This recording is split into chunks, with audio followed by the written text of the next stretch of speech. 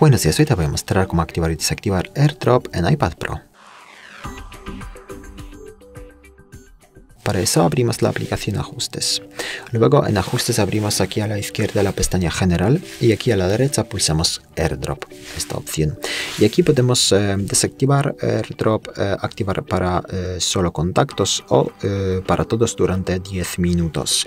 Y lo podemos hacer también desde el centro de control, desde aquí. Hay que deslizar el dedo hacia abajo de esta parte de la pantalla, mantener pulsada esta, mm, esta parte para ver más opciones y el airdrop aparece aquí. Entonces así podemos eh, desactivarlo, activarlo para solo contactos o durante 10 minutos. Podemos hacer lo mismo sin necesidad de acceder a ajustes.